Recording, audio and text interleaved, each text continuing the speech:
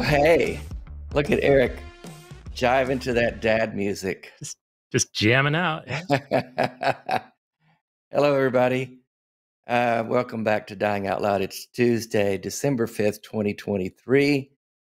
And you're on the line, the Dying Out Loud show with Dave Warnock and Eric. How you doing, Eric? Doing pretty good, Dave. How about you? Glad to have you with me tonight. It's fun. Yeah, We've been this, knowing each other a while. Yeah, it was our first time on Yeah. uh, screen together, so I'm privileged. Yeah, well, I'm glad to have you. How have you been doing? How's your week? It's been going good. Uh, I spent uh, over a week in Las Vegas for the Amazon Tech Conference. That's over there every year. So I got back a couple days ago. So I'm kind of finally like decompressed and back to my usual Wow. routine and working Worst those calories I the built winter. there off. Yeah, Yeah, yeah. Uh, yeah. I Vegas would- is my I hometown, so I spent many there. winters there. Yeah, oh, really? Uh, it's my hometown. Yes, my hometown. So I spent many winters there, and um, so I'm kind of used to it. But I did notice that yeah, my skin was drying out pretty bad. I don't think my body's really acclimated to it anymore since I've lived in Washington for like a decade now. hmm Yeah. Well, I have been um, pondering this week. Um, pondering is a word my friend Steve used to use. He had a he had a place on the river in Arkansas. We'd go and sit uh, in the water and drink beer, and he had a a, a place there called the Pondering Hole. Um, and if it's maybe a southern thing, the, the word ponder, which you know, to me, Yeah. it's just thinking about stuff, you know. And Steve, if you've any of you have read my book, he is who I've dedicated the book to. He and I were pastors together years ago in Arkansas, and I deconstructed, and he didn't, but he actually died before I deconstructed. He died suddenly, and um, it's what I've been thinking about this week because a couple of people I know have lost people this week rather suddenly, um, and Steve was taken from us suddenly at a, at a weird accident. A tree fell on him on his property and Oof. just broke his neck. And uh, went from talking. I had moved to Tennessee by this time, and I we went to talking once or twice a week to me getting a phone call that he was dead. Um, and the suddenness of it is jarring. And that's the thing about life is that it's so brief, um, unpredictable, um, incredibly precious. So a friend of mine lost a friend of hers this week. Suddenly, she didn't she didn't know he was even sick, and he goes in the hospital and doesn't come out. Wow. And another friend of mine uh, had a college friend that she had reconnected with a few years ago, and they had become, you know, they knew each other 35 years ago, but then they reconnected uh, in the last five years um, and began to foster a friendship again. And then politics got in the way of that. Turns out he was a supporter of Trump and was a QAnon kind of guy, and and that got in the way of their renewed friendship. And then she just finds out this week that he's gotten pancreatic cancer over the last few months and died. And she had lost touch with him because politics tend to drive a wedge between us these days, as does religion. I have a daughter who is estranged from me uh, through her choice because of my apostasy, as she would call it. And I've just been thinking about those kinds of things in life and how tragic it is that we lose touch with one another um, or something drives a wedge between us. Uh, someone can offend me and I get all offended and I and I, sh- I shut them out or they shut me out because I did something that hurt them or offended them and and and then years go by and those bridges are never mended and I just think it's tragic and what I want to say tonight is hold the ones close to you that you have because you don't know what what time we have I'm acutely aware of this because I deal with ALS every day.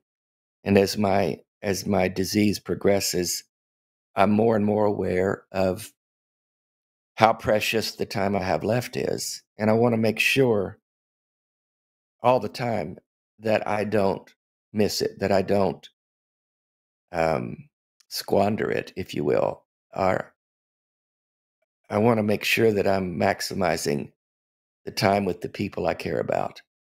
And not only spending time, but making sure that I say the things to them that I should say, that we have those moments that I talk about. I don't know. That's what's been on my mind. Starting off with a heavy load. Yeah. Uh, so uh, in my recent trip to Vegas, I was actually visiting an old childhood friend of mine that I haven't seen for probably over 20 years.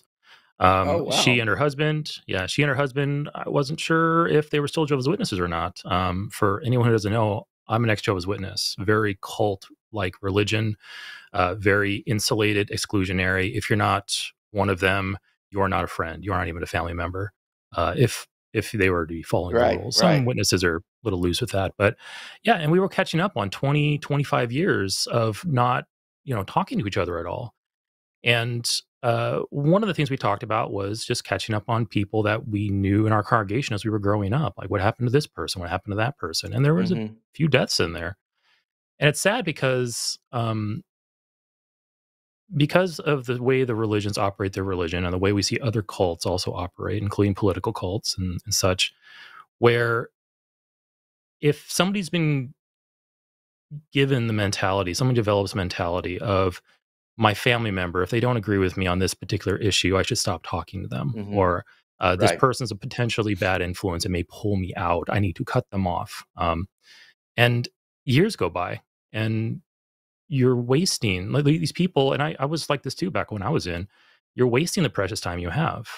And Yeah, there's a it. lucky few that there's a lucky few that realize, hey, uh, either the religion's bunk and they leave and they rejoin their friends, or they realize, hey, um, maybe I should be using this time that I have. Maybe I don't necessarily have the guarantee that I think I do about the next life to come, hmm and I need to start using my time now.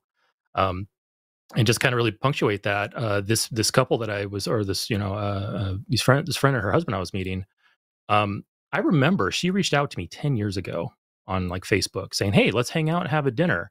And at that point, I was relatively fresh out of my deconversion. I didn't know whether she was still in or not. And I was actually apprehensive to even meet her. So I actually ignored the hmm message because I was hmm afraid that if we met, they might ask some questions. And if they're still in and they realize I'm out, now they'll start spreading that information to everybody else that I care about. And I'll eventually be shunned. And so I didn't Right. I didn't respond back, and I waited another 10 years before I finally did. That was 10 years of catching up we could have done a long time ago. Um, uh, or rather, that was 10 years ago we could have started catching up instead of now.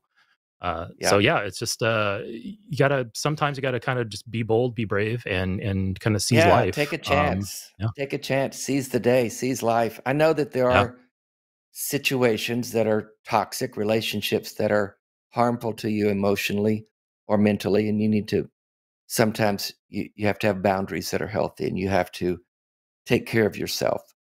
But more often than not, it's just time slips by, we're not aware of it, or there's some offense that has happened and we don't make the effort to heal it or fix it. I'm, I'm reminded of a scripture, which often happens to me. this former pastor, and it, it's really a it's a good sentiment. It, it says loosely, it says, "As much as lies within you, be at peace with all men." And I think that's a good tenet to live by. You can't be at peace with everyone because sometimes they won't let you. But as much as it is within me, I want to be the kind of person that is okay with anyone and everyone. And if you want to do life with me, if you want to have relationship with me, I'm willing to do that, even if we disagree on things.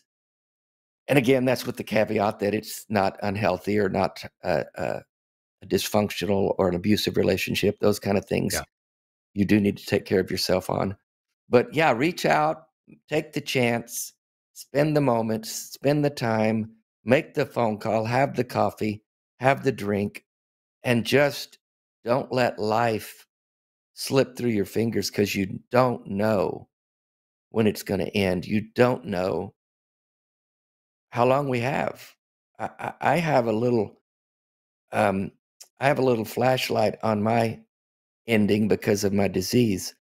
So I talk about dying out loud because of that. But we can all live that way as though this could be it. This could be my last day. This could be the last week I live on earth.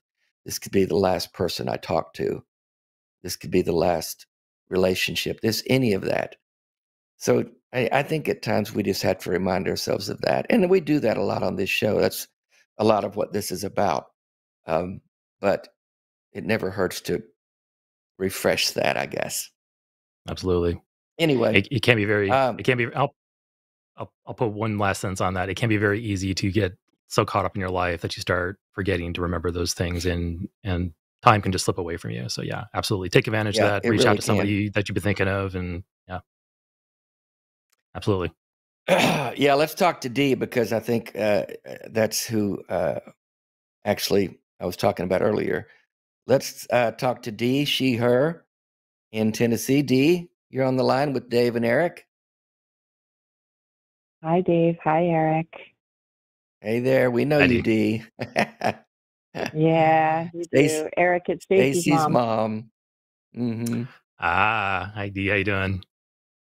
Hi. Well, well I've had kind of a eh, crappy yeah, I, week. Yeah, tell us. We I, I just was talking about that. You probably heard. So, tell us about that and yeah. and your thoughts in regard to that. Yeah. Well, and and your conversation has actually made me think about my dad. So I called in because I lost William this week, my good friend who he didn't even know he was sick until recently. And the last we spoke was last Monday, and he said he was fine. Good news that, you know, it wasn't cancer. And then he went to sleep Wednesday and just died in his sleep. And I still don't know what happened. And, and anyway, and it, I realized in my my moments of quiet this week, what I was upset about was um, it's the first time I've really been sad that I don't believe in heaven anymore because mm. you know we used we used to be like, well, it's okay, we'll see them again, and mm-hmm. I don't have that anymore. And as much as I I'm glad there's uh, 99 other reasons out of 100 that I'm so happy that I don't have all that fantasy that I have to believe in anymore.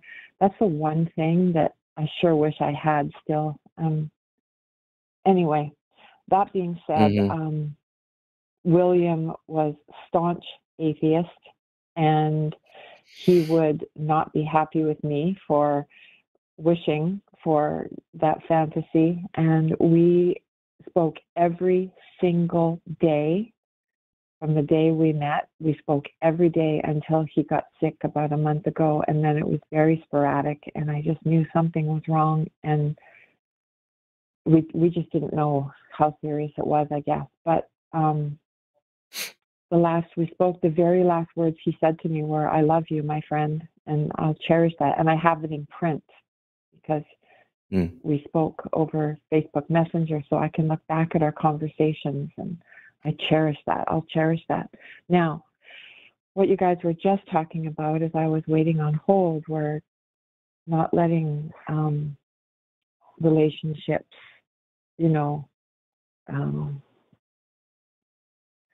if you can patch things up, patch them up. If you can make a phone call, make a phone call, go out for a drink, whatever. Well, my dad, um, he died in 1999, and we hadn't spoken for a few years. And that was his choice. It, it wasn't mine. He was upset with me because I was married to someone who was extremely abusive. And um, I actually have told my story on um, mine and Stacy's show, so it's there. It, it, I didn't go into as bad of a story as it was. I told enough without telling everything. But my dad one day just said, Look, as long as you're with that man, I cannot see it. I cannot talk to you. I don't want anything to do with you as long as you're with him. And in retrospect, every time I think about it, I get upset because he was my dad and he should have wanted to be there almost as a way to kind of keep an eye on me, but he chose not to do that. He chose to just bow out of my life because he didn't like the man I was married to. And then mm. when um, he was so close, when he was he was dying.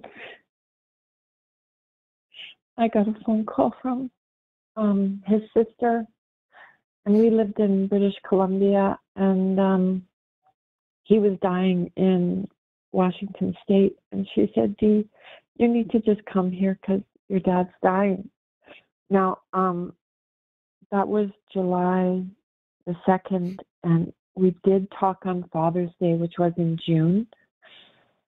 Uh, it was the first time I'd spoken to him since he said he didn't want to have anything to do with me anymore. And he was in his hospital bed, and he said, "I have cancer. Um, I'm going to be okay, but I do have cancer." And um, at, at least we did speak, but that was the first time we'd spoken in years, and it was in his deathbed, and I didn't know it was his deathbed. Anyway, so on July the 2nd, 1999, when my aunt phoned me and she said, Look, you need to get here however you can because he's not going to make it. And so um, I got in the car and I got right down to Washington State. And apparently, all day long, they've been saying, Just hang on, Jamie, Dee's coming, just hang on. And he was in what they call a metabolic coma. And they say, and I don't know how they know this, but they say that they could, when they're in a metabolic coma, they can hear what's going on, but they just can't respond to you. And when I got there, everyone cleared out of the room and left me alone with him. And I held his hand and I just said, I'm here. And he literally took his last breath and he died. Wow. And mm. if I had just reached out, I hadn't been stubborn and he hadn't been stubborn and if, if, if, all the fucking ifs. So I think your show tonight, if it reaches even just one person, Dave, just one person who could reach out and talk to somebody that they haven't spoken to in a while, and it might even be their dad. I don't know. I have a sister who's not talking to me right now, and I had a brother that we hadn't spoken for quite some time, but in the last year, he and I have reconnected, and it's just been the best thing that's happened to me in so long. And I can tell mm-hmm. you that it's amazing. There I'm are so, so many grateful. reasons.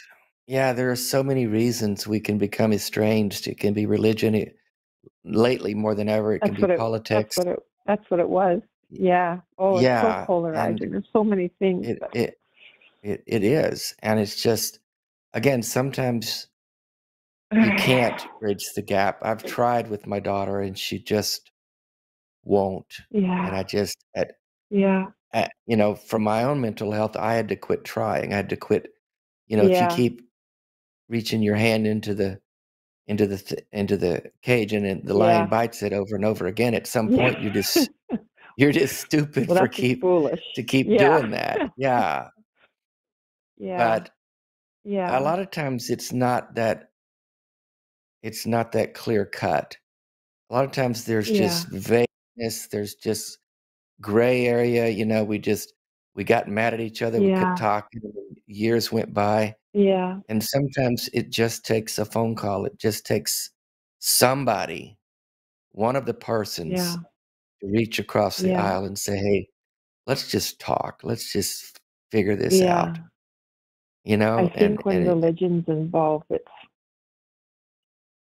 yeah, yeah. With the with religion, religion will override that natural inclination to reconcile. You could have yeah, both parties yeah, desperately wanting to reconcile, but one of them might be holding off because, well, I got to follow my God, and the other one might be saying, well, if I try, I'll be shunned even more. And yeah, it's it's yeah, yeah, it's it's mm. such a it's such a toxic and unneeded complication to already you know complicated human relationships um yeah yeah. It really yeah. is. That's the case with It my really daughter. is. She's she's following the mandate of God. Well, she she says it's God. It's actually a, a pastor that she's connected with, but to yep her, it's the voice of God. Um, it's usually a man, a person, and with with the uh, with the religion that we're aware of, it's always almost always men Yeah, uh, that are that are controlling things. I mean, let's just be with uh real. Yeah, with jehovah's witnesses it's 10 men in new york it's a it's a Oh committee a governing body and they set the rules and it's yeah It's the, it's, it's ten guys, ten guys in New York City is acting as a wedge between so many relationships worldwide. Yeah. It's amazing. It's, it's, hideous. It's hideous. Yeah. yeah. And and and please yeah. don't hear me saying anyone that you have to do this. I know there are many circumstances no. where where it's really not not healthy for you mentally to put yeah. yourself in a situation that you know is going to be um, damaging emotionally or abusive or toxic. So please don't hear us saying that. But there are many occasions where it can it can be now if not totally healed, at least made better if someone just makes an in, effort. In my situation, if my dad had been there for me, I could have gotten out of a I was in a really abusive marriage, like really bad. And if I'd had the the backing of my my dad, I think it might have given me the strength I needed. He, yeah, he he just know? couldn't support you in it. His his methodology was to abandon you in it and and was, tell you yeah. I don't approve, and so I'm going to cut you off. That's just he yeah. didn't have your back. Yeah, you know, and it's, it's had sad. nothing to do with religion. And going back to religion, I think that a lot of people who cut people off for religion, what it is for them is it's just for them it's another sign of the times, right? It's like mm-hmm. when it's the when it's the religious one who says, "I'm not going to talk to you because you don't believe anymore." That's just confirmation for them that they're doing the right thing. Jesus is yeah. coming back because it's the great falling mother away against daughter, and yeah. Mm-hmm. So we're just fulfilling what they see as biblical prophecy, and it's just a load of mm-hmm. crap. And it's just there's nothing you can do to fight against indoctrination. But anyway, well, I'm glad one of the reasons I tell everyone I love them every day. yeah, at least you talked to William every day, and that was good. So you were you were invested in that relationship. So I'm sorry that you lost it so suddenly. And yeah. it's just a reminder that we we have to be aware that stuff can happen any day, and we just don't know. Um, we just don't know. Yeah. Yeah. Well, thanks for calling okay. in, Dee. Yeah. Thank you, guys, and good to see you guys. Okay. Thank you, Have Dee. a good show. Okay. Bye. It's uh, one thing I sh- one thing I should have mentioned at the beginning was uh, uh, so I'm actually I'm in my early 40s. I've been fairly fortunate in life. I have not experienced any major loss like what Dee was describing, mm-hmm. Dave, what I'm sure what you've gone through. Um, but I know I will eventually. I mean, it's just a matter of time. Oh yeah. Um, I have a dad. Oh, I have yeah. a dad that I love dearly. I have many friends, and I have you know people I care about deeply. And one day it's going to hit me, and it's probably going to hit me like a truck.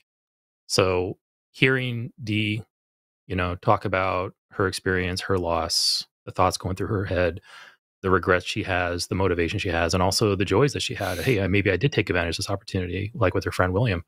Uh, I appreciate those insights because that helps me not only you know prepare myself for the inevitable you know suffering of loss that's going to be in my future, but it helps me take advantage of the time I have now. Tying back to our original discussion at the beginning, it it helps you put into perspective. Hey, you should probably go talk to somebody that you've been thinking about talking to, uh, or go find that person that you hey I maybe a lost friend that you haven't talked to in a while, and there is no problem mm-hmm. between you, but just just life got in the way. Um, yeah, yeah a lot of times it's that you just drift drift apart, and and uh, you don't think you get busy, and you don't think, and then a week becomes a month, becomes a year, becomes five years. Yeah, yeah. and then you read on Facebook they died. I mean, uh, it just that's just the nature of life. So if this, you know, we have lines open. We have a few to get to in a minute. We'll get right there. But if this is striking a chord with you, if you've lost someone that, you know, has impacted you this way, we'd love to hear from you. 720 619 2288 is the number or the web link in the description. Or if there's someone that you feel like you should connect with and this is resonating with you, give us a call, talk about it. We're here yeah. to to work those things through with you as best we can. Yeah. We are not therapists. We're not trained in anything. I don't know anything about anything. And I want to say that right, right out of the gate. I'm as dumb as a rock, but I'm here uh, to listen and talk, and we will be there as much as we can. Yeah, I, I'm just a fellow human. I have emotions. I have a couple ears, and I have some opinions that I can share if you want. And that's that's we're just here to talk and. And pretty much it. ideas. That's pretty much it. Yeah. Yeah. Yeah. Uh, Amargan, uh, hate to abruptly change the subject. Amargan did uh, request that we remind everybody about super chats. Um, I'm not sure what the threshold is or if we out the end Oh of the show, yeah. but Thank you uh, for yeah. that. I was I was amiss to not mention that. At the end of the show, um, Eric and I will read any super chat of five dollars or more. If you uh, want to get your questions or comment into that, then we would love to hear from you and um, chat with you that way. And it's a great way to support the show. Another great way to support the show and the and the channel and the line is Patreon. Um, that is patreon.com slash call the line. So there's two great ways to support the show with Patreon and super chats. And we'd love to hear from you. And let's take a call from Infidel, he, him in Delaware. Hey, I guess your name is Dale. yeah, this is I go by Infidel. Yeah, we're uh, you're on the line with Dave and Eric. What can we do for you tonight? Hey, first of all, uh, when I say hi family, I mean that. um, I want to talk about two things. The main thing I called to talk about was finding community uh, in the secular community, finding more family friends after losing them uh, to religion, pseudoscience, things of that nature. Um, but after hearing Mhm. what I just heard, I'd, I'd like to mention that uh, I am currently, or currently have, and or am going through the loss of my mother while she's alive. Um, she is an evangelical Christian. I am a vocal atheist slash anti-theist. And since you know a lot of people have the same stories, but Trump pandemic, there's been a lot of chaos, and I've pretty much lost the majority of my friends and family, including my mother. But five or six months ago, my mother found out she had cancer. When she went to tell me she had cancer, uh, she had me come over her house and showed me the paper, like from the doctor, and she like kind of waved it in the air. Reminded me of like Charlie in the Chocolate Factory, like finding the golden ticket, and she said, "I've got cancer." And I went, "But mom, it doesn't. We don't even have a full diagnosis yet. Like we don't have to, you know, worry yet. Like maybe it's not terminal. We can still hope that it'll be okay." And her reply, looking into my eyes, was, "Hope that it'll be okay. I'm praying that it's not." and everything Mm. in me like i'm an only child mama's boy like single mother very close our whole lives just dropped like she wants to go be with jesus and Mhm. otherwise she's healthy and it's treatable um, it's not curable but it's treatable and from everything they've said they could give her another 20 years but she doesn't want even non-invasive but to Mm. me it's So the she- difference between her wanting to die and being okay with death which are two So, very different so things. she's she's outright refusing treatment is basically what you're saying because of her beliefs. all yeah all treatment including uh including uh therapy they were talking about hey maybe we can get her on a page like mentally where she thinks about this a different way Mhm. and it's hard for me as a non-believer to you know bring the religion into it but that's it the, the scariest part and i'll say this because people need to hear it but of my mother is i did not know uh, she felt this way until recently she had Wow. um, early term abortion a long time ago and was fine with it my whole life growing up as our two family unit you know two person family unit she used to say it was the best thing she ever did for us because she was going through a divorce with my father. So it was the right decision you know fiscally financially for everybody and emotionally too. Now she thinks it's the worst decision she ever made. And she said this line which to me made me think i was looking into the eyes of like a monster. It was honestly very scary. She said dale i, I know you don't know this but i have to go be with your sister Mm. an early term abortion she had given sex to because the church she now belongs to made her have a burial for her unborn child that was when I say unborn child, I mean early term abortion that was 30 years before she joined the church.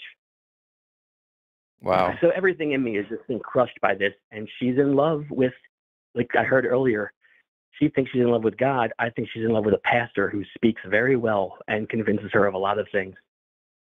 So she's dying, and we've basically gone from mama's boy very close to we can't speak anymore. And I moved to be close to her a few years ago. I moved away five weeks ago because I couldn't be too close to her anymore, but I want to be close enough that I can help. And that's where we're at. Yeah, that's so a tough one. That's kind of an example. That's an example of how a relationship can be toxic and harmful if you're not careful. Um, and again, that's the the finger of religion inserting itself into what would be a normal family relationship, and it becomes so dysfunctional because, as you said, Dale, it's you know we, we, they like to say it's it's what God says, but it's it's almost always what a spiritual leader says one of the toughest things that has happened between us is when I couldn't understand why we couldn't speak anymore. I mean, I felt it had to do with the religion, but with her, it was no, of course it's not. I don't know what it is. I can't explain it. There's something, but who knows? And with me, it was I'm looking at this logically, rationally. I can tell what it is, and she just doesn't want to face it. But I eventually got this from her Dale, I can't tell you how I feel. If you want to know how I feel, call my pastor. And to me, wow. like all the lights went off. Like, whole, you're somebody else. I don't care who they are. Another human knows how you feel better than you do. That's that's mm-hmm. saying a lot about where your head is or is not. Um, but the scariest part of the end of that is I did call him because I, I wanted to hear somebody say something like why my mother couldn't talk to me anymore. And these actual exact words came out of his mouth. Dale, I know you're a smart guy. I'm not going to pretend to, you know, blow smoke, blah, blah, blah. You're very intelligent. But one of the reasons that your mother and you can't communicate is your mother is a woman and women don't understand the way men speak. At that moment, I stopped him. I mean, I really did on the phone and said, Pastor, thank you for trying. I'm sorry. I know she wouldn't agree, but that was misogynistic as fuck. And I can't let somebody speak that way about my mother. So while my mother would probably tell me that I'm the bad person for not letting you speak that way about her, I refuse to, and I'm done and I hung up the phone. Mm-hmm. Um, but that's just, I mean, but that's how she thinks. She thinks she's not smart enough to talk to me because she's a woman. And it's like that's been drilled into her by him, not by a God. Now, were you raised in that kind of religion? I was raised in a Reformed Judaism home.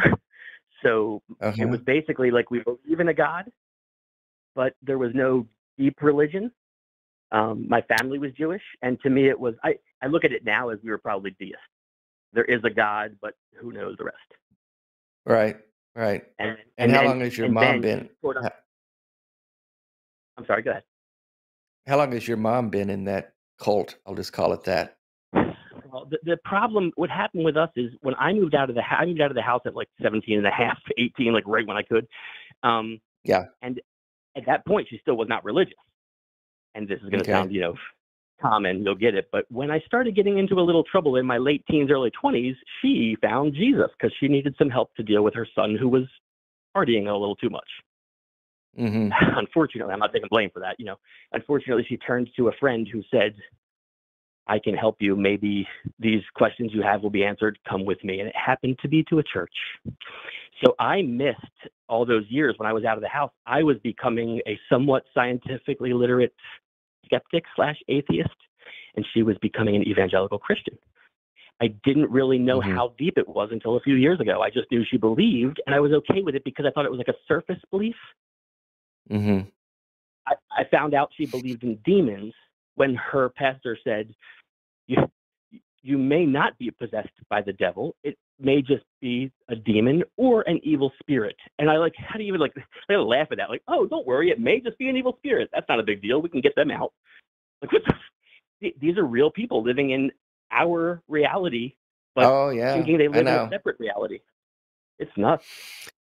I used nuts. to believe anyway. in demons and angels and all that, but um, so you've had to kind of distance yourself from your mom, but you're there if she needs her needs you, is what you're saying. Yeah, Yes. Yeah, yeah, because she's going to be dying.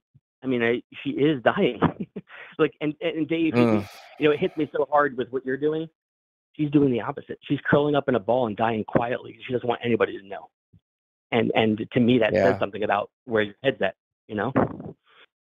Um, but but so the end of this is, uh, and the reason I called is all of these things, and I've lost friends to QAnon, and it wasn't just that. A lot of pseudoscience. Hey, if you stick an amethyst up your butt, it'll cure COVID. You know that type of stuff. Mm-hmm. And uh, mm-hmm. at this point, I've lost. I say lost, intentionally given up because it got too difficult. Friends and family because I want to be who I am, and watching the line, like I'm being serious. Uh, uh, it's only been somewhat recent for me. I've considered myself an atheist, anti-theist, skeptic for a long time but I've never been part of the interactive community until after last mm-hmm. election. When I did, I started doing spaces. I came to Twitter, shut all my old social media off, and came to Twitter, X, whatever you want to call it. And that's where it happened for me, where I said, wait a minute, all of my friends and family who have been giving me shit for years and telling me I'm evil for saying the things I am, they weren't the people who I should have been speaking to. Like now I'm speaking to people, algorithms, right? Who care about the things I'm saying and kind of get my message and are willing to engage from the other side. So mm-hmm. all of a sudden, I open up these worlds to me where there are other people like me. Most of us are just quiet because we're scared to speak up. And to me, it's a big part of everything I do nowadays. I'm speaking, you know, out loud to people. speaking out loud, dying out loud is it. We have to be willing to speak. The, the, the great, it's a very simple but great quote by the great Christopher Hitchens there can be no progress without head-on confrontation. And if mm-hmm. we sit still, like we're in homeostasis and it's fine and it feels nice, but there's no chance at progress. So my mother would just wanted to spin our wheels when we were falling apart. And I kept trying to interact and she wouldn't. So we fell apart. So for me, it's just like amazing finding other people who are willing to have the conversation. If you can't discuss the ideas, you're never going to understand somebody. And if you don't understand someone, it's tough to get along. Yeah, I think that's a, that's a great that, that's a great point there too. That um, it was mentioned earlier that you know due to politics and also religion, you know, we are very polarized people. Um, United States, especially, especially right now with the political realm, it is very us versus them. Very, you yeah. know, um, uh, if you're on that side, I can't talk to you, or we're, our yeah, friendship is somehow diminished. Our friendship is somehow diminished because we have different political opinions. Um, and yeah, we we if we give into that and we say to ourselves, "Oh, hey, you know, this person is," of course, like I said, caveat. Um, if the person's toxic and brings you pain and, and suffering in your life, it's okay to cut that person out for your own mental health and everything. But you have to ask yourself that question whether that's the case or not. But you might be surprised that hey, somebody might be fine with a friendship, and because you have different opinions, that's not going to get in the way of it. Um, so it's important for us to not allow those things to get in our way of reaching out to people, at least trying, at least, you know, one day down the road, we can yeah. say, I at least tried to talk to this person or at least tried to mm-hmm. mend the bridge. Um, again, like I said, with the caveat of it's, it's up to everybody to make that decision about different individuals.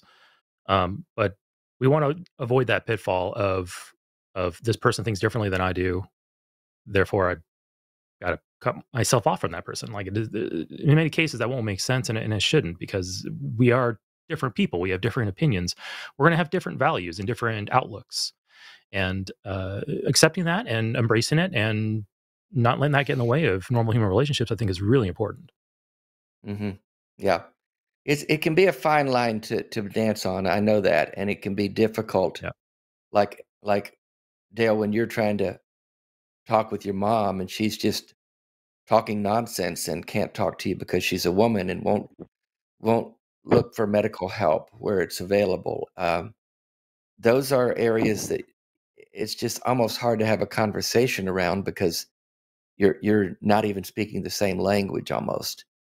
And so I know that's a I difficult. All, I say, yeah, I say all the time, Dave. Um, I say all the time that uh, I speak to people all the time who speak English, which is what I speak, and we speak very different languages. I'm yeah. with you. I understand what you're saying, and I get that. My mother and I don't speak the same language. Mm-hmm. Yeah, I have a family of my brothers and sister and mom. They're all conservative evangelicals, and that's the water they swim in, and I swim in this water. So we don't pass each other in the water much because we're yeah. in different rivers. Yeah. Um, yeah. But still the line of communication is open. And as much as lies within me, I'm going to keep it open. Um, we don't talk often because there's just really not much to talk about. If if it gets other than you know piddling stuff, uh, the kids and the weather and whatever. But I'm going to keep it open. I'm going to ma- make sure that those lines of communication are never blocked by me. Um, well, my so I'm my relationship. Sorry, Dave. Go ahead. That's okay. Go ahead. I was I was done. Yeah, no, I was jumping in, but my relationship with her really did fade quickly when she first said, "Let's just not talk about religion," and then it was now religion and politics, and then it literally got to just keep your feelings inside if I hurt your feelings because there's nothing I can say to help. so yeah. it was a drastic, yeah. you know, fall in about a year, that year and a half. Mm-hmm. Well, it sounds like you're doing all you can there, and I'm glad you've gotten on the internet. And you know, for for all the internet is, uh, the pain in the ass that it is, it can often be a channel, a conduit for us to find one another, and for for that, I'm thankful. So I'm glad you found that. It's it's a tool, and like all tools, it's how we use it. And I've found a way, like I said, when I came here, to use it to communicate with people who think similarly to the way I do to build a stronger community. And it's not building, and this is a side note too, but it's not building an insular community like religions do. Right. It's building a community of people I can talk to. And, and I want people who are religious to be part of my community. My community is free thinkers.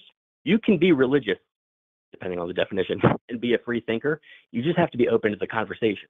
And when people mm-hmm. aren't, that's when I'm not capable of, you know, trying. Yeah. Yeah. That's pretty much what where I live too. Well, man, I appreciate the call. Yeah, absolutely. Thank you. Call back anytime. Thank you, and uh, you bet, sharing man. your pain. It helps. Thanks. Thanks, Dale. All right, take care. Dale. Take care. Bye bye. Bye, Dale. Dale's uh Dale's story about his mother uh, reminds me of somebody that uh, I'm close to. Uh, this individual is still a Jehovah's Witness. Um, he has spent his entire life in service to this religion, given up, dropped out of high school early, given up opportunities for careers and jobs and homes and stability. Uh, virtually has nothing to his name when it comes to like finances because he's living day by day. Mm-hmm. He thinks Armageddon's going to strike literally any day now. Yeah, any day. And there's no no need to save up for the future. And I was talking to him a few years ago, and uh, he made a really interesting comment that that Dale's mother's comment reminded me of. He said to me, that he doesn't expect to live more than 10 more years. At this mm-hmm. point, he was in his early 50s. And he's, I was like, why do you say that? And he was talking about some health issues and some other things. And, but he has no real solid indication that his lifespan is limited to 10 more years. And it got me to thinking and speculating why would he say something like that? Um, and pure speculation, but I think that he doesn't want to deal with the consequences of the life he lived. And I'm, like I said, speculation. Mm-hmm. I can't read minds. But if I were in his shoes and I was looking back on my life and thinking to myself, I, I have no preparations for retirement. I'm going to be working until the day I die. Do I really want to deal with that? Do I really want to do that? Right. Hey, right. I have my religion. Death is a get out of jail free card. If I die, I will be, with according to the witnesses, instantly resurrected in a paradise earth in the future from his perspective. And mm-hmm. it, I think this type of religious think it really skews your ability to, well, one, plan for the future, uh, which is kind of unrelated, but also to cope with your mistakes and take the time that you do have left to start correcting them. Um, 50 years old, it's up there, but it's not that up there. You can U turn your life. You can start building yeah. a career. You can start saving for that retirement. You have time to do that. Um, well, yeah, I think it's just his uh, that, that, and it's it's an escape clause. It's an escape clause. Yeah, and uh, it also is the reason they don't care about the planet or anything having to yep. do with future yep. preparation. God's going to come take all this away. Exactly. No politics, no environmentalism, easy no peasy. saving, no college. Yeah, it's just a, it just completely sabotages your future prospects and, and steals them from you. Keeps you that keeps you eternally dependent on the faith because you need that faith, you need that hope, or else it was all for nothing. Um, oh yeah, yeah, absolutely. And, uh, and I guess the moral of my story there is that um, it, it's it, I don't think it's ever too late to make a U turn and and start trying something, start gaining back something that you've lost to your religion. Um, you can be seventy years old and you can start doing oh, new things, trying new things. That. Go, yeah. You can always take advantage of that. Start rewriting your story. You know, if you don't yeah. like the way your story's going, rewrite it. Yeah. You can always do don't, that. I agree 100%. Don't th- Let's don't don't throw in the towel. Use your energy. Let's talk to yeah. Andrew. Andrew, he, him in Florida. How you doing, Andrew? Hello, gentlemen. Good evening. Hey there. You're talking with Dave and Eric. He says there that religion slash God enhances your ability to love and makes you fully human. Tell us about yes, that. Yes, sir. Yeah. uh, speaking of throwing in the towel, um, um, as Eric mentioned, I, I want to um, speak about throwing throwing out the baby with the bathwater, because what you gentlemen are highlighting tonight, um, I think fairly, are the negative aspects of religion. But I, I think we're overlooking the, the positive aspects. Um, I've been able to love and develop deep bonds because of religion. It's enhanced my marriage. It's enhanced my relationship with my children. Um, religion has given me the framework to, to develop deeper bonds and, and it gives us principles and values that enhances um, our humanity, our, our, our, the way that we interact as humans. It gives us a culture. Um, and themes like forgiveness, redemption, love, and the indissolubility of marriage, where marriage is forever, it makes our marriage truly meaningful because of, because of the religion. Well, what if I told you I love and forgive and can do all of those things without religion? So, how is my experience not valid and yours valid? It's valid. You know, you can um, you can take a car to the airport or you can take an Uber. They're both valid, but um, one of them is, I think, is just a better tool to navigate this life. The other is a tool as well. Uber is a pretty good tool for um, for many people, but I think driving a car is a better tool for most people. We have to pay for parking, though. That's a good point. You got to pay for parking. Got that awkward silence Thank with you. the driver.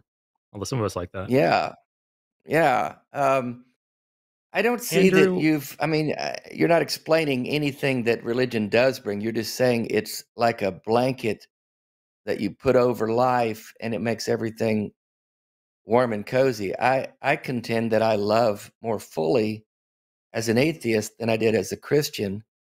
For one reason, if if not only this, if this wasn't the only reason, it'd be enough. I don't put people in categories of good and bad saved and lost, evil or holy.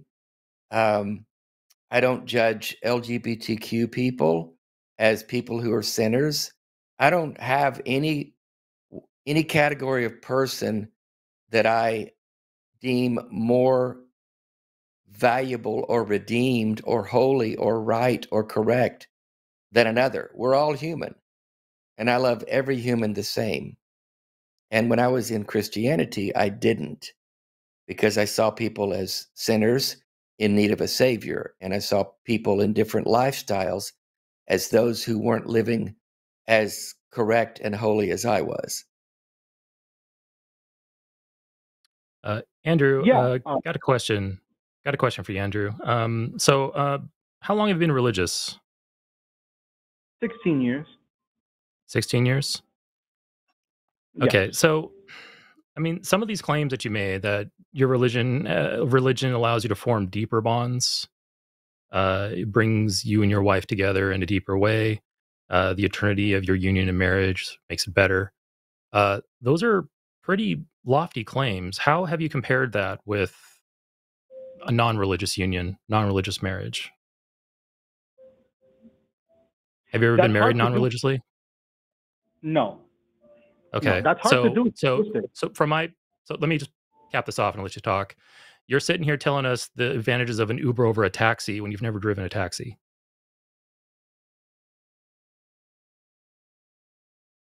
Yeah. Yeah. Um, so, so my question, I, I, guess my question would be, I'm sorry, I, I did say I'll let you talk. I'll hold my question. Go ahead. Go ahead and give me your, your retort. No, no, finish, finish. So I can get process fully, you know, everything you're trying to say. Right. Um, so you currently don't have a point of reference when comparing one to the other, which is okay. I mean, I don't have a point of reference of being married religiously. I've always been married non-religiously, so I can't make I can't make the argument that hey, non-religious marriage is better. I can't make that argument. I don't think I ever would. Um, but I guess the question is, how can we determine which is better if either are better, and whether other factors might be involved that might say uh, be unrelated or, or closely related to the religion, but not dependent on the religion. For instance, if you and your wife are aligned in the same religion, you have the same goals, the same values, it's going to enhance your relationship. That's not dependent on the religion, that's just being aligned in certain goals. Like if my wife and I, we aren't, but let's say my wife and I are really into uh, feeding the hungry in Africa. Like we both go to Africa, we're there, we're doing work, we're making meals, and we we meet each other there, and we're both doing these things together. We're going to have a deeper relationship than a couple that doesn't, I would think, or at least myself with my wife if we weren't doing that together. So I guess mm-hmm. my question is, why is religion necessary for this? Why isn't it just the common goals, common values, and, and working together as a team towards those values that enhances a relationship? I think those three criteria that you mentioned, those are good criteria. I think those criteria are better manifested because of religion in, in many different ways. And, and one example, I think, would be marriage. If you look at the statistics in the secular Western world of the, the marriage of secular people, uh, the, the secular marriage versus religious marriage, religious marriages are less likely to get divorced. They're more likely to stay longer because of the commitment with the ceremony and the doctrines and the beliefs. And if you marry someone, fifty percent, fifty percent of Christian marriages end in divorce. The same as secular. Right. I don't know where you right. get where you get your stats. Those, those are secular Christians living in a secular society who grew up in public school, who don't attend secular church. Christians. So they're not yeah, real they're very, Christians. They're very. They're I didn't say they weren't real. Christians. I said they're heavily influenced by secularism. Um, you don't know that. So, you don't know that. Yeah, you're painting a very broad brush of, here. The, of those marriages, you don't know those, those marriages. You don't know those couples. 80 percent um, of of the, the, the majority of, of people growing up in America are educated through the public school system, and so they, that, they don't have a Christian. That has nothing to do with whether they're a Christian. That has nothing to do with Christian marriages. You said Christian marriages are less likely to end in divorce. Statistics do not bear that out. I'm sorry, you're wrong if you look deeply into the statistics and you compare people who are devout, going to church, who had a Catholic wedding, who did so not sleep together more before Christian, getting married, the statistics more will Christian. show you something. You're saying they have to be more devout, and you're the devout. arbiter. You're the one that decides which ones are devout and which ones aren't. I'm giving very general criteria to show that they're devout. Yes, they didn't you are. sleep together before marriage. They attend church on a weekly basis. Um, they got married within the church. They didn't just get married civilly. The criteria like that, you will see lower divorce rates because you, when, when you look at statistics, you can't look at generalities. You have to look at very specific um, cases. You have to look at. Um, Is divorce always bad? Is divorce always bad? If it saves you from a bad situation, it is it, it is it can be a positive outcome but on the whole, separating children then why from their do parents. You, why are you? Why are you? You're. I mean, you don't. You're assuming all these marriages have children. You're assuming a lot of things, Andrew. Just a lot I of told, things, and you're painting I with a very, very broad brush. Pardon, Andrew? I can tell you, Andrew. I can tell you that that um, my parents stayed together because of the religion, and I was one of two children in that. And looking back, I think they should have divorced when I was younger. I think it would have been much better for the family as a whole. Yeah, a lot of people Here's, leaving religion say that, but a lot of people whose parents did no, stay together. I, I said that even before I ever left my religion. See, you're, you're painting with the broad brush. You came, you came on, Andrew. you came on with a very broad statement that God and religion makes all of life better. Loving and marriage and forgiveness and all the things in life are better because of God. And that's just not true because we can see statistically and in the world we live in, we see that that's not true. And what you do now when we when we counter that broad brush stroke that you made is you start trying to dive deeper and trying to build categories of Christians and you're claiming that only the, the devout ones is what I'm talking about. And you're the one who gets to decide who's devout and who's not. Who made you the judge of that? I'm not saying I'm the judge. I gave very general criteria for someone who practices the religion and applies the principles that, that I've laid out. The principles that will um, prevent fighting, that will prevent abuse and toxicity. Um, Christian principles such as love, um, love your wife as yourself. Um, Christian principles such as forgiveness and redemption. Pr- Christian principles. Love is as- not a Christian principle. Forgiveness is not a Christian principle. In fact, secular people are able to forgive without a blood sacrifice, which your God was not able to do. You're acting I don't like need to sacrifice. Owns... Yeah, you're acting like Christianity owns these these terms. It, I don't need to go sacrifice like... an animal or a child in order to forgive someone. If I was God and wanted to forgive humanity, I would just fucking forgive them. I don't need for somebody to die. That's messed up. Andrew, that's not love and it's not forgiveness. So these terms that you claim to own are not what you say they are. it seems you're taking everything good of the religion and you're saying it's not really the religion because we see it outside of religion and you're only looking at the toxic elements. I mean, we can do that with anything. We can look at the top. no, elements. I'm looking at love. I don't need I, God to love someone. Andrew, let's clarify. I'm, I'm going to clarify our position here. We are not claiming the opposite of what you're claiming. You're saying that religion makes marriages better. And I'm not saying that not religion makes marriage better. I'm saying no. I don't have the data to accept your claim. I'm not stating the opposite is true. No, I'm not saying. Yeah, I don't think I said that. That you're claiming the opposite. I'm. I'm. I. What my I, claim, I think I said. Was, my my claim is that it's unnecessary. You can have a deep mm-hmm. relationship with a person without religion. That's the point. Now, how you measure which how you measure which relationships are deeper than others, I have no idea how you do that. And I don't think you have an idea either.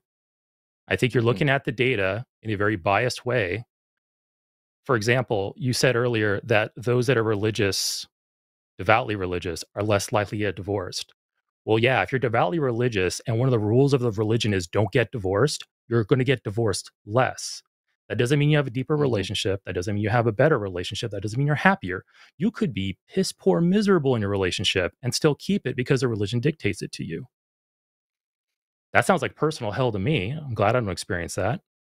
But you're you're you're pointing at this this this this this observation that religious folks get divorced less than others, which I don't accept. But let's just say for a moment it's true. Yeah, the religion dictates that. How does that make it better?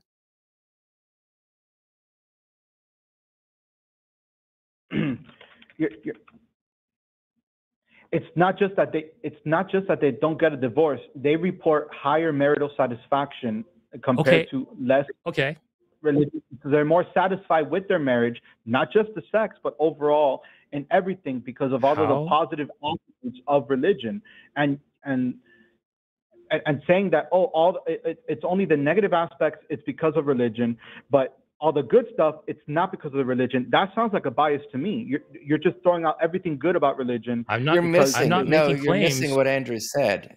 You're missing what Andrew said. We're saying it's not necessary. America. You're you're making a uh, claim. Uh, I'm sorry, Eric. Uh, uh Andrew, okay. I was looking at the screen. it's okay. You're making a oh, claim oh, that you can't support with evidence. It's all. It's anecdotal. It's anecdotal. Again, you can't support this with evidence. And again, Andrew, Andrew, I'm like I said, I'm not saying what you're saying is false. I'm saying you can't demonstrate it to be true. Therefore, I don't accept it. And my counter to what you just said about how uh, these people are self reporting, we have better sex, we have better relationships, we're happier overall. I come from the Jehovah's Witnesses. This is a group that is so concerned about their public reputation that they cover up rampant uh, uh, child abuse. sex abuse in their church okay? Because it's better to hide facts and present a good forward looking face than it is to deal with internal problems. So, in an, in an organization like that, where people are following the rules of, hey, don't get divorced, also, Jehovah's name and his reputation are paramount, so you better act that way. What do you think that's going to do for self reporting on the, the, mm-hmm. the, the, the, happiness and your sex life in a marriage if those people were to, to report on that? Don't you think that might skew their results? That might skew their responses? Your data could be skewed and you don't even you aren't even considering these things. Right. The, the, studies I've seen are self-reported, and they were from a secular institution, the Institute for Family okay. Studies. They weren't reported the secular institution. The secular institution not, is not going to. The secular institution doesn't have anything to do with how the people are reporting and their motivations for reporting. If a person is reporting for this survey, I'm a Jehovah's Witness, and in their brain they go, "I better represent my religion really well. Yes, our sex is great. Yes, I'm very happy. Yes, we never have any problems." Don't you think that might happen? It seems and I'm like, not saying that this is I'm not saying this is evidence that you're wrong. I'm saying that these are correct. problems in your presentation and why I can't accept that you're right. I understand. I understand. You're not saying the opposite. Okay. You're just saying it's definitive. All right. Um, right. It, it, and so uh, whatever data I show I, I show us, we're, we're, it, it, seems like we're just gonna um, say it's not definitive, it's not going to be enough. So there's really no way to look at the positive aspects of religion and say, and, and, and just uh, give them credit where credit is due, because we're always going to just say, okay, the data is not definitive, and oh, we will, can do it without religion. And so it's I will gladly say right, that there are positive. I'll gladly say that there's positive aspects about religion, and there are couples in religion, their religion will enhance their marriage. I will not go as far as to say that these marriages are enhanced beyond anything capable of those who are not religious or those who are secular. And that was your claim at the beginning of the call. And let's let's let's get off of marriage for a minute. That's just one thing you mentioned.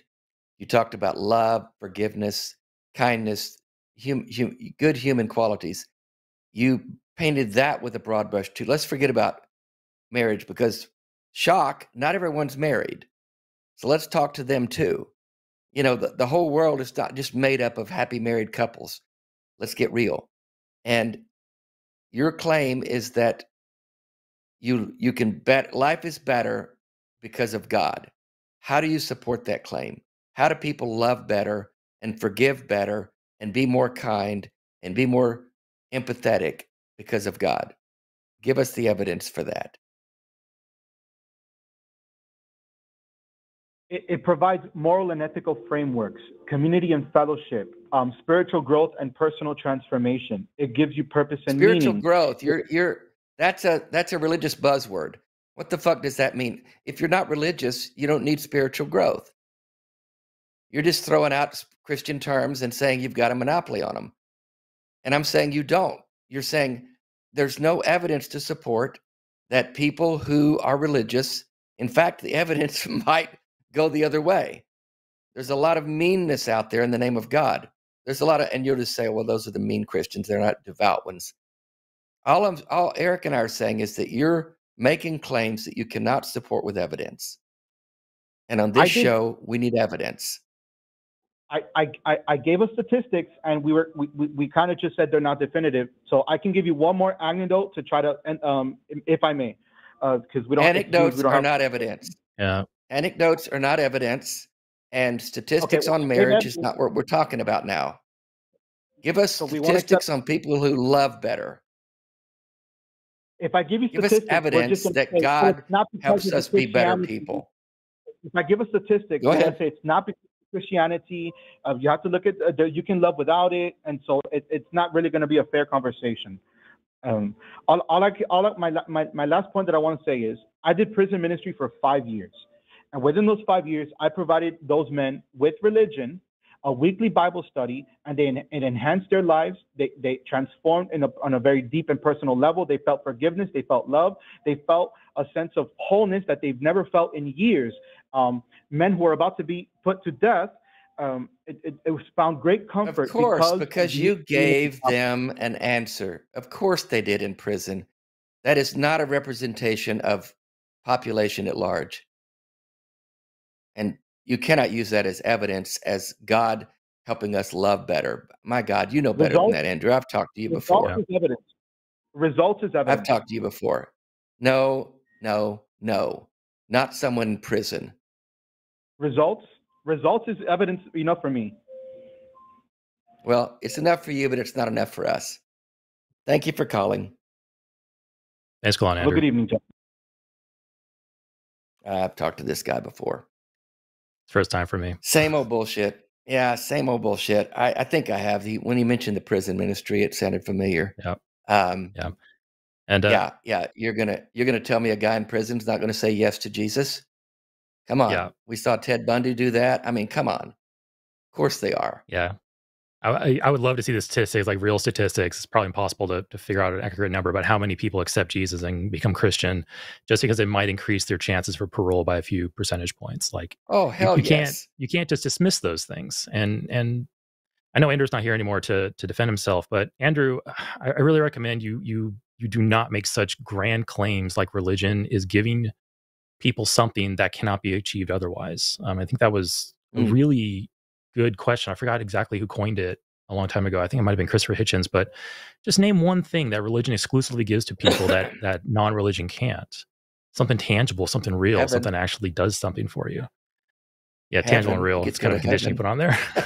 it gives you, yeah, but it but it gives you. I mean, that's that's that's ultimately hope, and other things can give you hope. You know, you can have hope for a better life. You have hope for for well, meeting the problem is it's a false Things hope. That, it's, yeah, it's, it's a, false, false hope. hope that can't.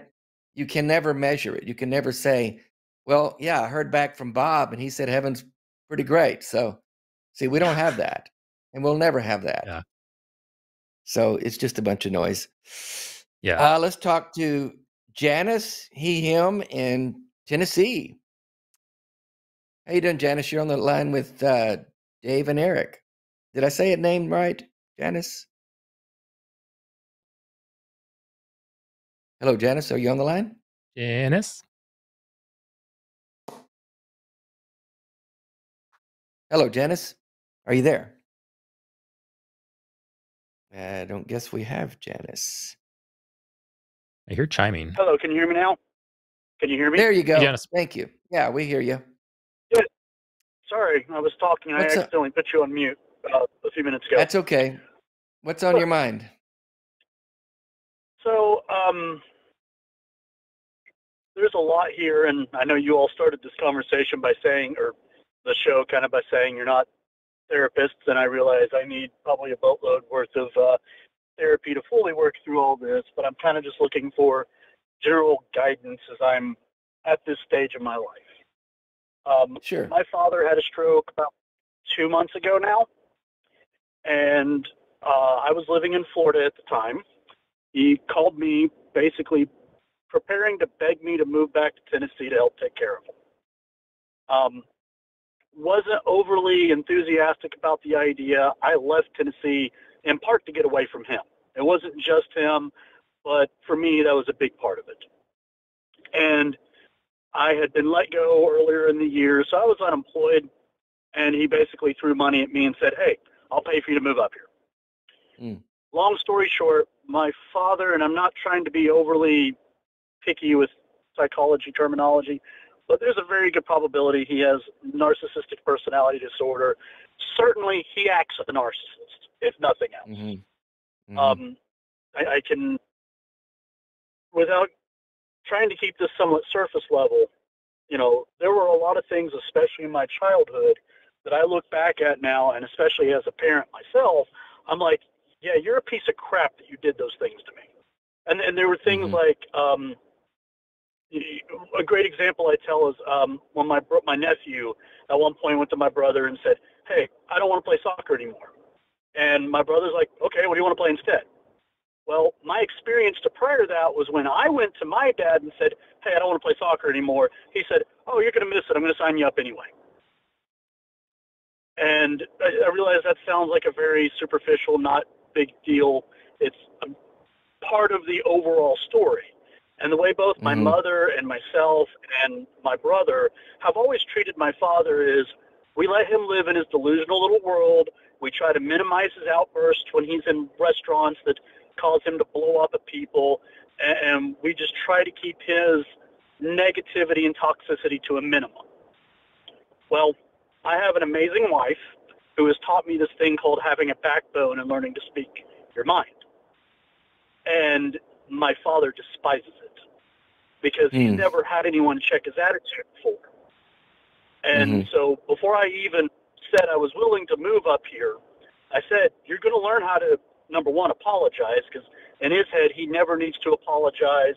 He's never done anything wrong. And even if he's the one who's upset somebody, well, y'all should just get over it and move on. That's his philosophy. And so a couple of weeks ago, and, and this was literally the day my family moved up here because I kept them in Florida for about an extra month. Um, things started basically falling apart at this place we rented.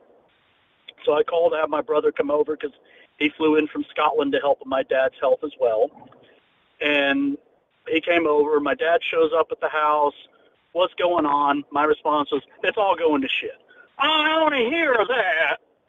Was his reaction, which is always his outburst kind of reactions. And I said, "All right, well, thanks for coming," and I walked off. And he immediately tried to start treating me like I was a six-year-old kid. Come back yeah. here. I kept walking. Come back here now. Kept walking off. Last time, come back here now or else. So I stopped. I spun on my heels and I said, I'm not a six year old child that you can make dictates to. I'm an adult.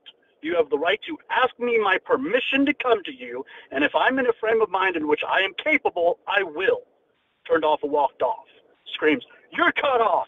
I'm never going to have anything to do with you ever again. Of course, I'm sitting here like, I just relocated my family to take care of your dying ass. Shut up. So that's well, what what's the uh, what's the net what's the net result here? You said he had a stroke. Is he in? He doesn't sound like he's incapacitated, and I guess he's you not, were in the. Your summary here in the, in the call in the call screen it says, "Is it okay to be a jerk to an ailing parent who was slash is a jerk to me?" So you're yes. kind of trying to work so through how do I treat him. Yeah, really, my question is he is a jerk. He's been toxic to everyone my whole life. Um, in his world, in his head, he thinks everybody in the world loves him and everyone goes out of the way to help him. And he has a very self centered, delusional attitude. Uh, mm-hmm. He had lots of problems with me as a kid because, to quote him, I argued with him about everything. Um, which me as a parent, I'm like, if my child and I are having communication difficulty, it's my fault as the parent that I'm not communicating right. with my kid. It's not my kid's fault. And so, are you so going to be living says, in the same? Are you going to be living with him? Give me, give me, give us a no, view of what's going that. on there. So you're living yeah, near so, him, or um, what? I refuse to live with him. I, am about seven miles from his house. Um, my okay. plan is to, once my brother leaves, to basically take care of basic, not ADL things. He does have activities of daily living that he isn't able to do anymore. Um, but you know, drive him to the doctor, make sure the mail gets brought in, trash gets taken down, pay the bills, basic, you know, be as good of a person as I can be without committing my yeah, family stuff, to him. To suffering and his abuse. So, where this so really I guess. right. And I guess so I'm, gonna, I'm just trying to. In my head. Yeah, go ahead in my head, and I was um, last week had I actually gotten in and called you last week. I was incredibly angry last week, and when the anger is really strong, the anger, the resentment, all the things of, you know, from my childhood, it's really easy for me to lash out at him. So there's yeah. a part of me that's like, okay, I already have tons of self hate and self loathing and other things like that that I'm working through. So there's this part of me that says, okay, it's time to treat him the way he truly deserves to be treated. It is time for this aging man to be told that he is the piece of shit that he really is. Mm-hmm. But then the other but part I of me that says, the, the question is, what's that going to get you? Get, right. Well, part of it's mm. what's it going to get me. The other side of it is, you know, on one side I say to myself, okay, I already have tons of self-loathing for things I've done and things I haven't done in my life. Um, so tacking on putting this jackass in his place probably isn't going to darken my quote soul, if you want to use that terminology, uh, any more mm-hmm. than it mm-hmm. already is. The other side of me, though, is I also don't want to hit 65 if I'm fortunate enough to make it there and go, yeah, that jackass shit I did on my dad's way to his grave nah, might not have been the best thing I do, and end up having lots of remorse and guilt for it, the same way I did for things when I was a child that I didn't know better about. And I don't know how to balance this because I know his personality. I know that he will gaslight me. I know that he will mm-hmm. nitpick at me. And I know that he will use any opportunity where I don't toe the line of what he thinks should be as opportunity against me. He ended up getting COVID. He immediately blamed me for it. I was like, I've not well, even been sick. Let me cut in here. Let me cut in here. Let's let's talk a little bit yes, about please. it. Again, we're not we're not therapists, and I do think I you need to have some therapy to work through this, to talk through this complicated yes. issue. Um, I'll say a couple of things that I want to hear from Eric, but I don't know if you're going to be able to draw boundaries with him that he will respect. And you, I think if it were me, I would have to have a game plan for what to do if I draw boundaries that he tramples all over. What what is my response to that? Otherwise, it's going to be sounds to me like a, a lot of yelling back and forth, which is doesn't sound like it's going to be constructive to anyone. I want to hear your thoughts, Eric. Yeah, um, and uh, uh, Yanis, I I know this is not what you meant by your question, but I'm gonna be a little pedantic with it. Your question verbatim is it okay? Is it okay to be a jerk to an ailing parent who was a jerk to me? And since using the word jerk for both your behavior and his behavior, I know you don't mean it that way. I don't. I know you don't want to. I well, rather I, I don't think you meant it this way. You don't want to give him tit for tat, one for one treatment. What he's done to you, you're going to do right back to him. Um, I don't think you're the type person who would gaslight someone, for example, or say physically abuse them if you were physically abused. Oh, so there, there's going to be a difference in your response to his abuses towards you. And the question I think you need to ask yourself is, which you mentioned it earlier, how are you going to feel one day down the road once he's gone, once that anger and that that constant aggravation, irritation, that constant toxicity has ceased? How are you going to look back and feel? I think is one thing. I think another one too is um, the way we behave can tend to become ingrained. And if we allow ourselves certain indulgences like, you know, uh, uh, uh violence or even other things like, you know, uh, uh, responding to things with like alcohol or responding to things with drugs or other, you know, generally negative right. things, it can tend to stick with with us. And then once he's gone, now you're going to be carrying this baggage with you going forward, and that might spill over in how you treat others or how your life goes. So you want to kind of be on guard with okay, how am I behaving now? Is this something I want to carry with me as I keep on going? Because you will carry remnants with you as this ordeal ends and you move on with the rest of your life. You want to be careful to make sure that you aren't going to accidentally like taint your life down the road with things you might acquire mm-hmm. today. Um, I'm not a therapist. You you might completely handle that appropriately and move on without a scratch on you. Um, it, it it's really the situation, well, and yeah, this is probably something. Yeah, um, th- this is something that I think needs to be deeply discussed with you and your family. Um, not necessarily with your dad, but with like your your more immediate family, anybody who's around. On like what, how have you coped with it? How are you been dealing with this while I've been away, and such. Mm-hmm. And yeah, uh, things like therapy, talking with friends we can help. Yeah, yeah. Um, I have a similar Sorry. situation. I'm, I'm not going to go into detail, but I have a very similar situation with my, my mother. Um, she's senile. Her mind is gone. There's zero chance of reconciliation at this point. But I hold on to a lot of anger from a lot of the crap that she put me and my family through when I was young. And I do notice, and the reason why I mentioned earlier, I do notice that there are certain behaviors that I picked up in my direct dealings with her that I still carry over now. And those are things like I don't like these characteristics of me that I might have taken out of there. So that's kind of one of the reasons why I mentioned that because I have firsthand experience of that. Of hey, I'm going to be as much of a jerk to this person as this person was to me, and then now it's you hold on to that as you keep on going, and you can, you can kind of leak through in your behaviors with other people, and it's something you got to be on guard against. Um, and it's very difficult because if you if your father truly is a narcissist or he just is simply just unyielding and unbendable you may be just bashing your head against a brick wall when it comes to, to mm-hmm. dealing with him or trying to correct him and you you got to find you got to if that is the case and you that's your conclusion then you got to come to terms with that and figure out how to either cope or avoid it um and uh, that's only something that you can evaluate and you can figure I, out for yourself yeah you that's you, fair. you were avoidance avoiding... has been my primary method for the past yeah. five to ten years. It's well, actually, yeah. for most of my life, my my solution has always been to, if I can't de-escalate it, walk away, and then I move yeah. states to get away from him. Yeah. Uh, and my wife actually looked you... at me when I. Sorry. Uh-huh. No, no, go ahead. Go ahead. I interrupted. Go um, ahead.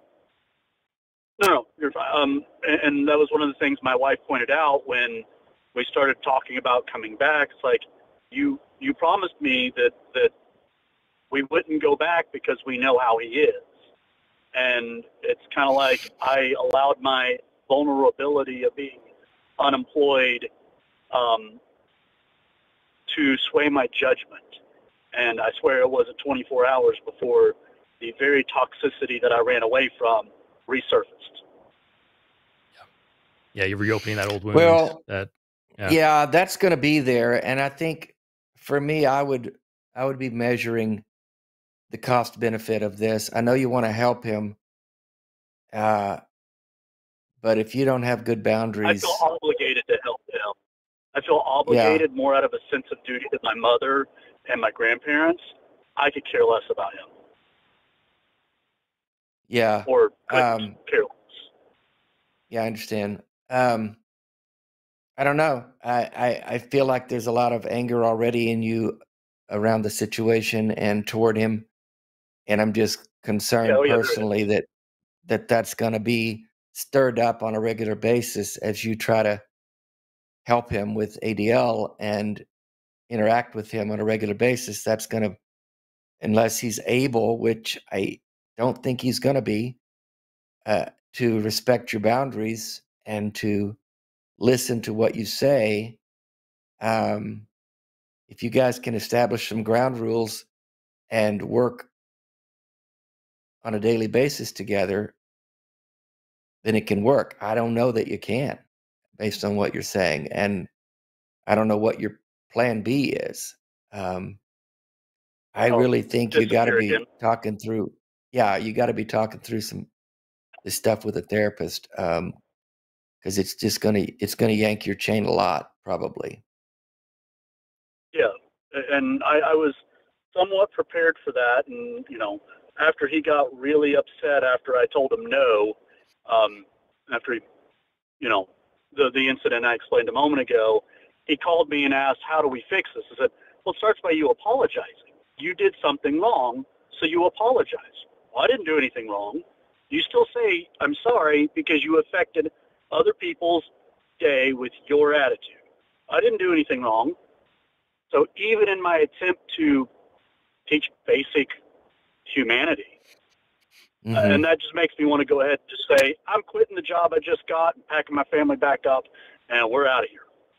Um, I can't do mm-hmm. that because I can't let my, you know, I have to have a job.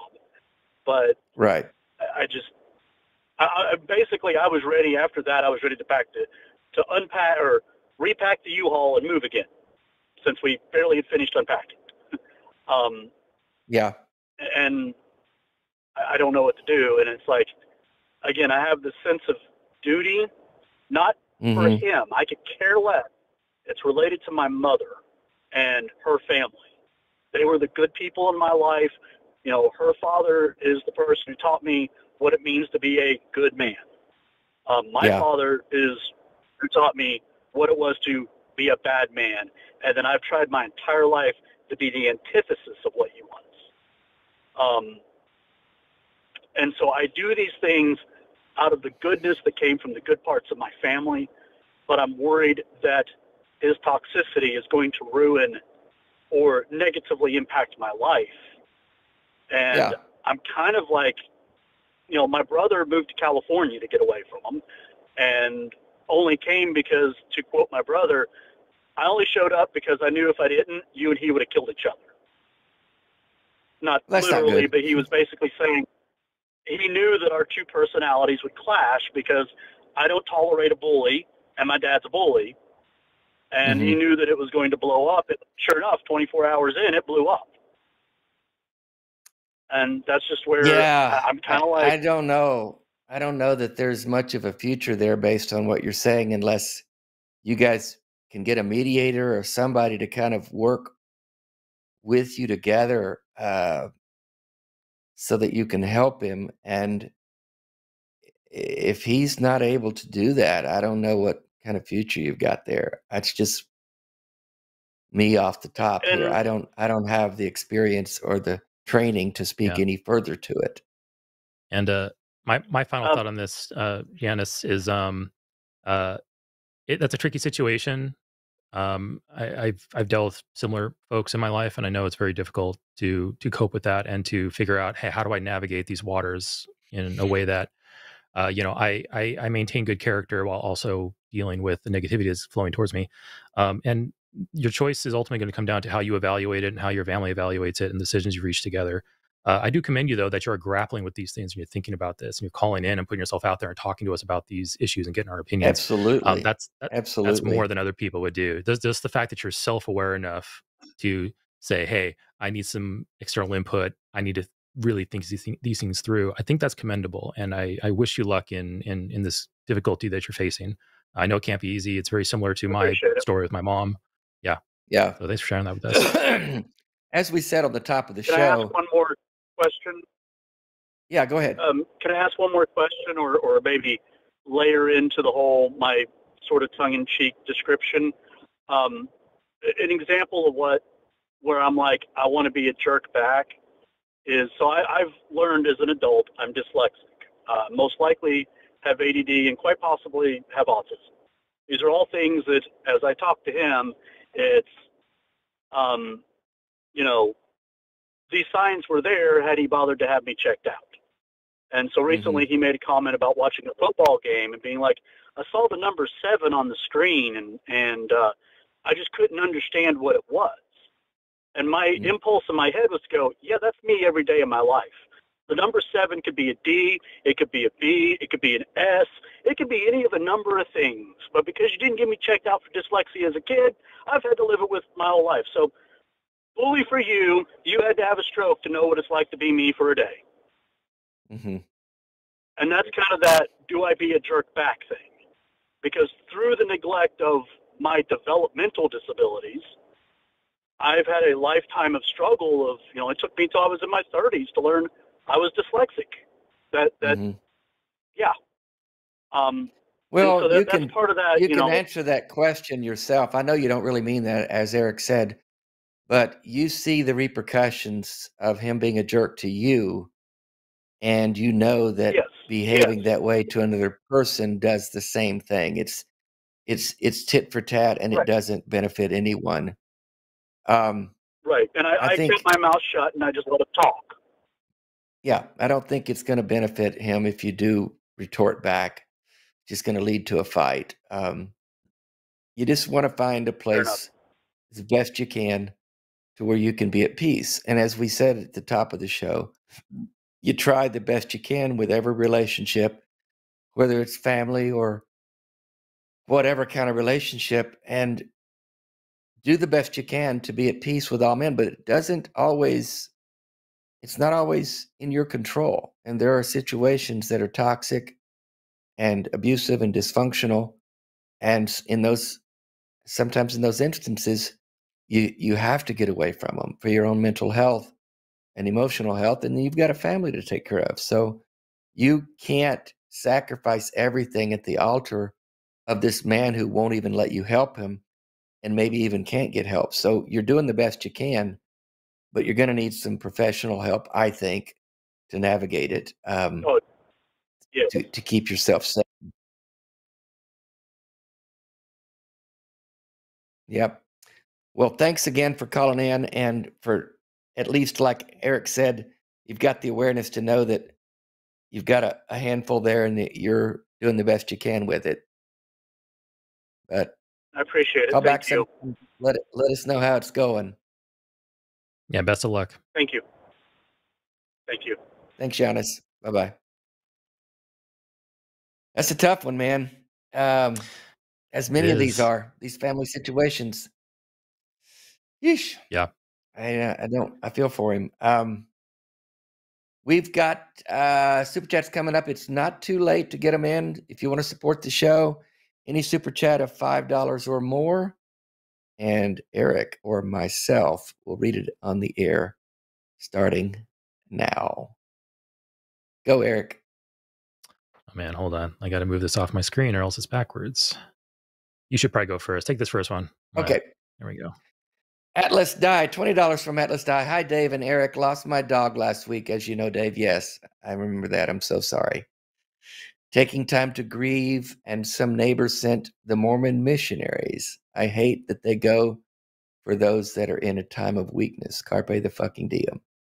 Oh my God, they came after your vulnerability. I'm so sorry. That Yeah. just sucks. A I neighbor I can't sent them on you. Ah, I can't stand. They're not all like this. Some of them are vulture Christians, the ones that they Yeah. circle until they see their opportunity. Like, oh, you have a death in the family. Oh, you loved one broke up with you. Uh, your dog Mhm. died, and then they swoop in to exploit your emotional weakness to give you the good word. Um, yeah, I just I, I can't stand that. I've seen it happen real time back when I was out in field ministry. Uh, ugh, makes you just feel dirty thinking about it. Um, yeah, so I'm sorry about your loss. I know you're I know you're nicer than me, Atlas, but I hope you told them to go fuck themselves. But you probably didn't. you probably were really nice. but but not in an ironic way, which we tell Jimmy. Like, yeah. Right. All right. Uh, four ninety nine from Maddie Sheppy. My father left home when I was four. I grew up with visitation for my youth. He paid and honored. Good man. Pastor, I don't believe. He knows not. Tips? Uh, that's a lot of sentences. Um, Yeah. I I, don't know. Translate that, I think it's yeah. So uh, father left when he was four. He had visitation. He paid and honored. So your father uh, fulfilled his obligations under whatever court ruling was uh, in place for you know how he would support you and your mother. It sounds like. Um, that's all great. He honored his agreements. He cared enough to give you guys what you needed to survive, and that's a good thing. I mean, while you're in a mission, he's a good man. Sounds like you have a good relationship. Uh, if he's still here, uh, pastor, you don't believe, so you guys are at odds with your with your religious inclinations, but you still have a good relationship. It seems you still have that, and that's that's great. That's awesome. Uh, he, He knows doesn't know I'm not sure how to. He doesn't he doesn't know that he doesn't believe. Oh, he doesn't know. Oh, oh, oh. I This is like a riddle. a We're good having to we're having to riddle this out. This kind of Yeah, fun. yeah. I can unravel this. This is fun though. Um, I guess Tips? I mean, you're not here, Maddie, but I mean, I wonder. I, I'm curious how you anticipate your father to behave or to act towards you. Were you to tell him that you didn't believe? Um, that would be an interesting conversation. But um, if you feel, for instance, you know, when I left my religion, I had every single person that I knew and grew up with, I had to ask myself, what would happen if I told this person that I no longer believe? Right. Right. And that's that was almost agonizing because there was people I wanted to talk to, but I knew that you know once you start talking to them, they're going to gravitate towards, "Hey, have you gone to meetings lately? Oh, hey, you moved. What congregation are you in right now? What do you hmm think about that Watchtower study last week?" You're you're going to have questions that are going to eventually reveal that you're not in. Um, and I tended to avoid conversations with that, and I regret some of that, and probably I was it was the right call for some other people. Um, so yeah, something you got to ask yourself is is is how would he behave, and and would it enhance your relationship were you to reveal that to him? If it's Yeah. better to keep that to yourself, because you're under no obligation to share your secrets with your father or anybody That's else for that matter. That's If it's your I've secret, it's your secret. Yeah. You don't owe Um, anyone any explanation. yeah. And Yeah. yeah, But we're always reluctant to give advice on how to come out, when to come out, if you come out to yeah. anyone. But you just have to measure the the cost benefit again. Yeah. Uh, Net, as Eric said, you know what what will it do? What, what do you expect it might do? Yeah. And Net take your time. net benefit analysis. Yeah. Net benefit analysis will enhance or, or diminish your relationship. And a, a caveat with that is you could think I'm not I have no idea about your relationship with your father and how well you know him, but I've heard stories of many people saying, I thought I knew my mother until I told her I didn't believe anymore. And Yeah. then things changed and they were shocked. Mhm. They were like, many are are like, I thought they were going to accept me. I thought they were going to just say okay and just move on. But it just it completely ruined the relationship unexpectedly. Yeah. So it's Yeah. It it's can go. it's it's It can go either way, and you never you yeah. never know. So just tread tread carefully is all I could say. Even with most thorough analysis, it could completely go sideways, and it's, it's really difficult to to make a call on that. Five bucks from the Raven 200, he, him, the Andrew call in checklist. Make baseless claim, check. Get challenged on claim, check. Use special pleading for claim, check. Learn nothing, comma, repeat. Yep, that's his MO, and like many track callers like him. Yep. Thanks, Raven. I I enjoyed that conversation with him. It was my first time. Maybe others are more tired of him than I was, but I mean, he he answered questions honestly. He he paused to think, which I really appreciated. Yeah. And uh, uh, I think though, like just he just had com- confirmation bias, and he was really looking at the evidence very loosely and, and only picking out what really supports him. Um, I hope he takes some yeah, things from the I think we've seen see. him. I think we've seen him before. He does have a uh, more of an even tone and a, a, gentle tone, but I think that's part yeah. of the package with him. He's still yeah. not not really listening. Um, but you know what? We don't do it to the ones list, uh, that are calling. We do it to the ones watching. So there's that's at, what we're doing. At the very minimum, it was a solo conversation, and I really appreciate that. So exactly. Um, so so thank you, Andrew, if you're still listening. Uh, ten dollars from Panda. Uh, one of the best shows on the line. I totally agree. Thank you guys Thank for you. everything that you do. Hearts. Thank you, Panda. Thank you for that, Panda. I appreciate it. We try five dollars, five bucks from Monkey at Typewriter. Much love to Giannis. I said his name wrong at the beginning. You corrected it very well, Eric. Thank you. My father was a near it. perfect. I, I only corrected it because I saw somebody in the, chat, chat. it. I, I can't. I can't take credit for that. My father was a near perfect example of what not to be. Now that I'm a father, I try every day to be nothing like him. CTFD guys. Yeah, it's a tough yeah. one. I there's a lot of anger with Giannis, what this guy has done, his dad has done to him, and he's in a tough, tough spot. So I'm really hoping yeah. he can navigate that.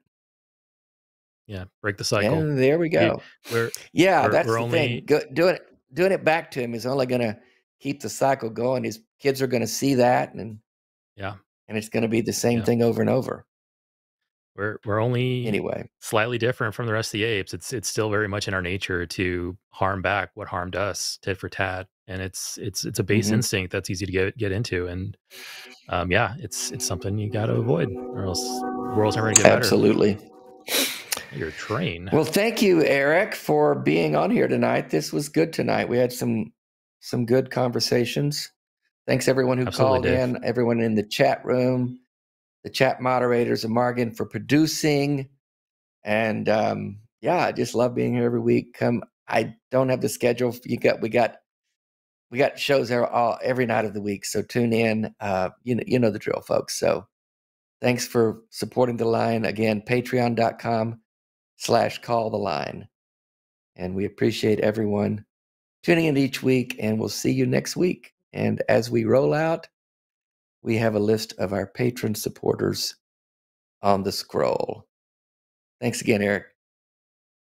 Thanks, Dave. It was a pleasure. Yeah, always. And we are rolling start dancing. Out. There we go. No music. I'll start dancing anyway. There it is. I hear it now. There it is. You brought it. You brought the music. Brought the music. Thanks, crew. You make it happen. Yeah, thanks to moderators. You guys are awesome. And the audience. Why are we in the audience? Thanks, audience. Appreciate it. Love you guys.